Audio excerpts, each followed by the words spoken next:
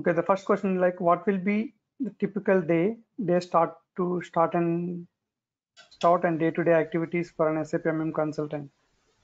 So uh, May 30, I'm going to release one uh, video about um, the roles of a support consultant. Okay, that is going to have the day-to-day activities.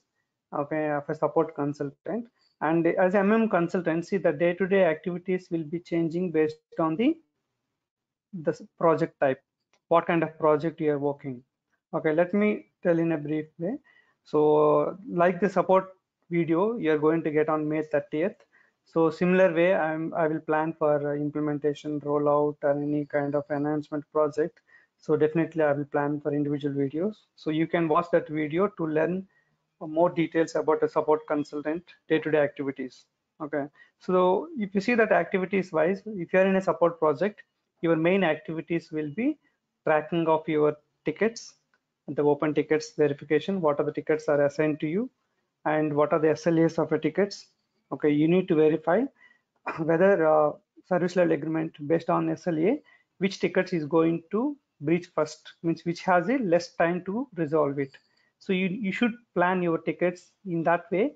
So which are the tickets are going to uh, finish like you're going to complete within two days or one day. You have to prioritize and finish that uh, ticket first. And if you have a time for four days or three days you can give the second priority or third priority. So and also the support consultant needs to interact with the ABAP for any change requests. And uh, other consultants if you have any integration related issues you need to interact with those people. Okay. And uh, if you see that uh, if there is a requirement to give a training you have to prepare the training materials. And if you have if you need a requirement if you need to have a more discussion about the respective ticket then you should talk to user and fix the time and schedule a meeting.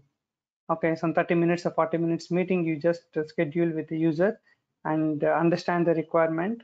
And any questions if you have you can ask directly in the meeting. So the support consultant mostly the roles will be in that way. An implementation consultant based on the phase in which phase you are in. Okay for example if you are in uh, business blueprint phase the most of the work will be discussing with core team members and getting clarifications and updating the documents. Okay updating the blueprint document and updating the presentations okay are you prepare if you are preparing any uh, visio flow you have to update the flows based on the understanding. Okay and uh, kds key data structure. So these kind of terms if you are not much aware about this please uh, write an email to me.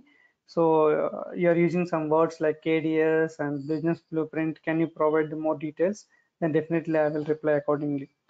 So the implementation consultant based on the phase okay so the day-to-day -day activities will be if you are in realization phase mostly you will do the configuration you will do the testing you will write the function specifications and uh, you discuss with uh, other modules and ABAP okay so the function specification you have to release to ABAP and if they are asking any questions you need to answer. So those are the the typical day-to-day -day activities in an implementation in a support in implementation like I mentioned based on the phase if you are in a final preparation you will be mostly busy with authorizations okay user authorizations related and uh, training materials preparation. If, if the task of end user manual preparation is given to you then you have to prepare that okay. And uh, the cutover programs the programs you need to verify again and the data you have to verify all the data is properly given by the business or not.